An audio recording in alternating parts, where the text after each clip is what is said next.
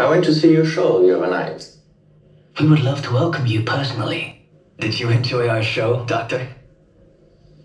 It was quite enjoyable and rather sad as well.